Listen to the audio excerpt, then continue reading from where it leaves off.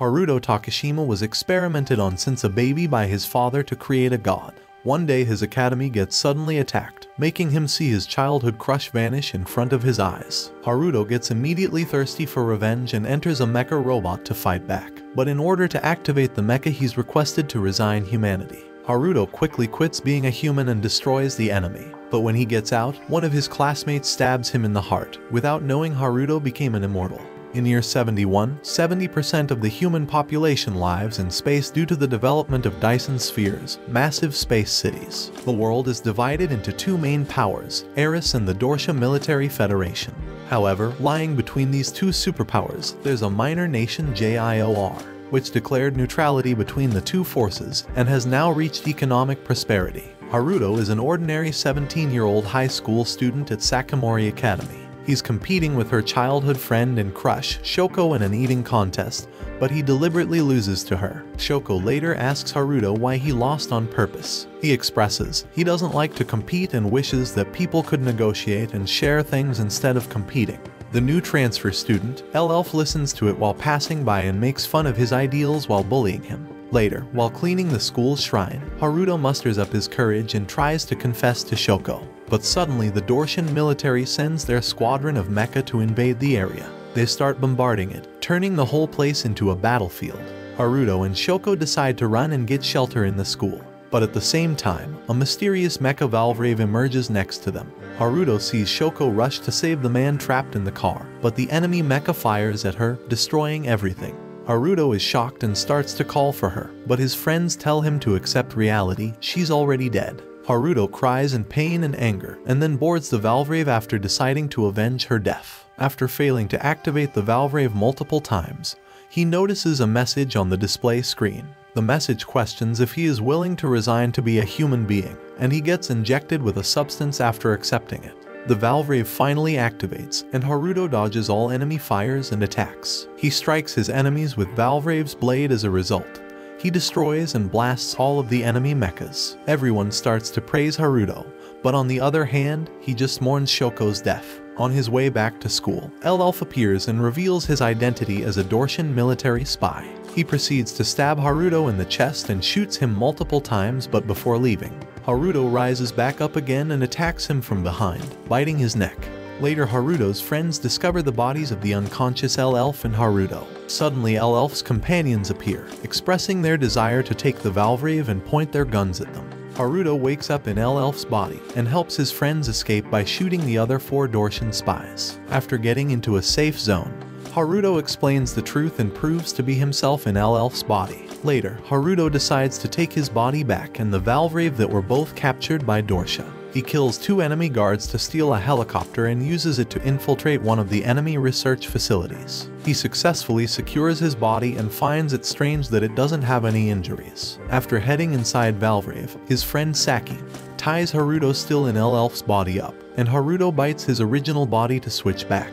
He then takes control of Valvrave to escape from the enemy site and enters space. The Dorssian forces manage to catch up to them and start launching their attacks to stop him while Haruto is busy destroying enemy mecha, dodging fire and missiles. L-Elf takes this chance to free himself and takes Saki hostage, ordering Haruto to surrender. But he soon learns that he's considered a traitor, because Haruto shot the Dorssian spies while in control of L-Elf's body. Suddenly, Haruto receives an unexpected call from Shoko, and finds out that she is still alive. Yet, his Valvrave overheats and starts to emit a golden light. With this new power, Haruto manages to hold the enemy until the arrival of help from the Eris fleet. After returning safely, L-Elf is arrested and Haruto goes to meet Shoko. Still, instead of confessing his love as he promised, he laughs off and walks away, realizing that he has no right to confess after turning into a monster. In the next day, Haruto reveals his regenerating abilities to his friends and asks them to keep it a secret. Suddenly, something triggers Haruto, and he jumps on his friend Kuma trying to bite him. Saki manages to stop him with a slap and makes him turn back to normal, making him realize he's not human anymore.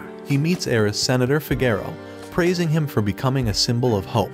Later in the day, while expecting a future attack, Haruto helps soldiers to evacuate the school in order to save everyone from Dorssia's next attack. Haruto suddenly witnesses students panicking in the crowd and when he turns around, he sees L-Elf, who escaped from the prison. Elf asks him to form a pact with him. He wants to start a revolution in Dorssia. If Haruto helps him, Elf will help him save everyone's life. Haruto refuses his offer but before leaving, Elf tells him to give him a peace sign whenever he decides to change his mind and needs his help.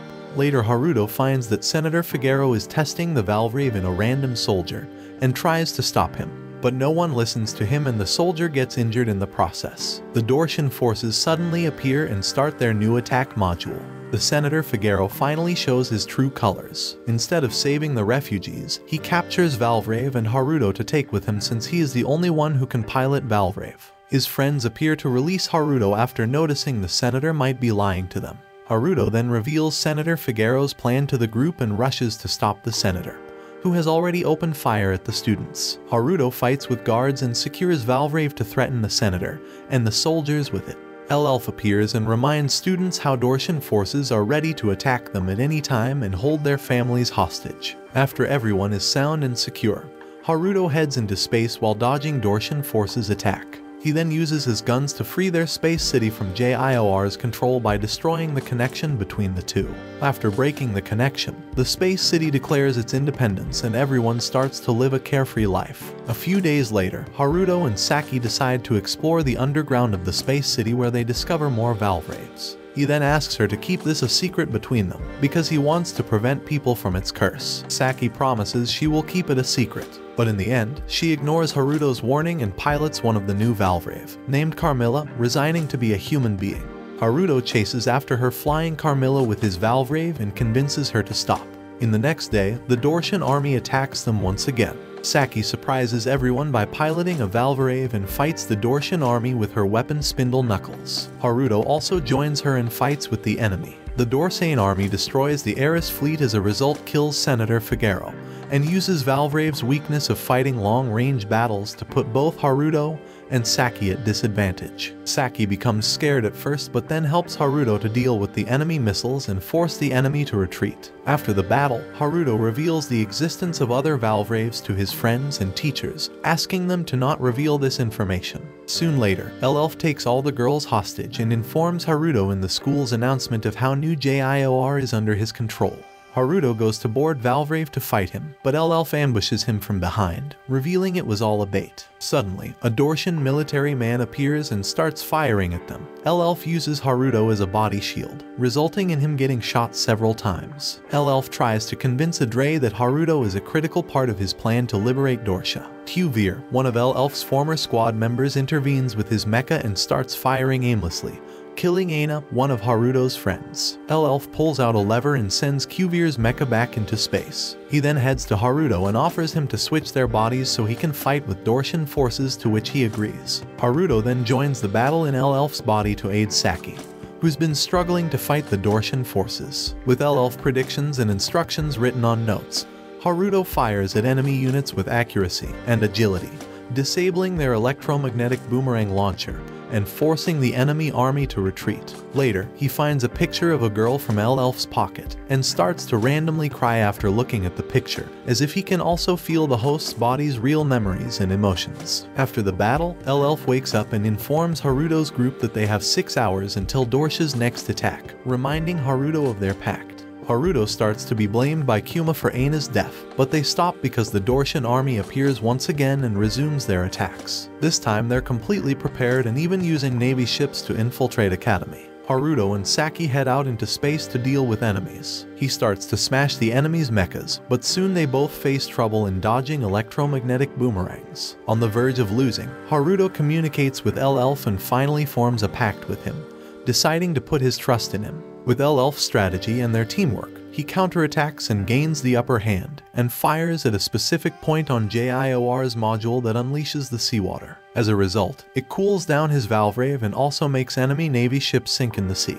Later, Haruto starts to charge his Valvrave up to overheat it until it starts to emit the golden light. He then uses its power and strikes the enemy's fleet with his Harakiri blade, defeating Dorssian forces. After the battle, the space city heads toward a neutral territory safe from Dorssia named Moons. Haruto trusts L-Elf and lets him decide on their strategic planning so they can minimize their casualties. But he loses control once again, forcing L-Elf to punch him and bring him back to a normal state. A few days later, the Dorssian squadrons attack once again, but they struggle to breach the defenses because of Elf's newly created barrier system, military training, and organized defense formation. Haruto and Saki head out to fight the Dorssian forces and follow the retreating enemy's fleet but soon realize that the enemy has lured them out and another Dorssian fleet is ready to attack the space city. The Dorssian forces fire their missiles and lasers, as a result, stopping them from protecting everyone. On the other side, the enemy fires a cannon to blow the space city. But before a tragedy occurs, Kuma and Yamada appear using a Valvrave to save the city and destroy the Dorssian fleet to retreat. After their return,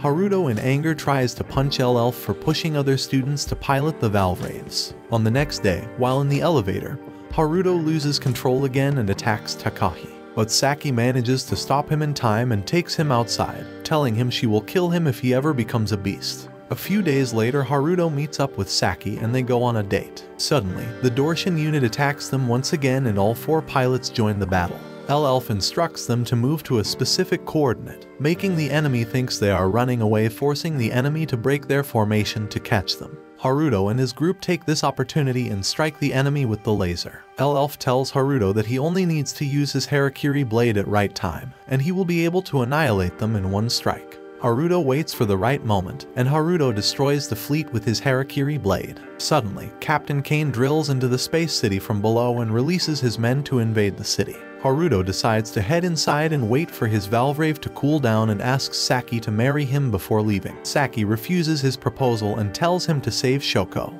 After heading inside, L-Elf informs him that his teacher, Captain Cain, is the mastermind behind all this, and also tells him that the enemy is releasing poisonous gas with the drill, which will result in the whole space city being filled with gas if the drill reaches the surface. They both go to retrieve his Valvrave and find Cain there. Haruto tries to stop Cain from taking his Valvrave but Cain shoots and injures Haruto. L-Elf tries to punch Cain but he easily fends off his attack and knocks him down. Haruto holds Cain so L-Elf can run away but A-Drei shows up and points his gun at him. Both of them are on the verge of death, when suddenly a Valvrave appears piloted by the most antisocial girl, and genius hacker in school, Akira. Using her Valvrave weapon, she hacks and destroys all enemy mechas and the drilling machine, forcing the enemy to fight themselves. In the process, she also frees Haruto and L-Elf, who now have the chance to fight back and take Valvrave. They get into the mecha and Haruto fires his lasers to kill Cain. But as soon as they are about to confirm their victory, they notice Cain floating in the sky.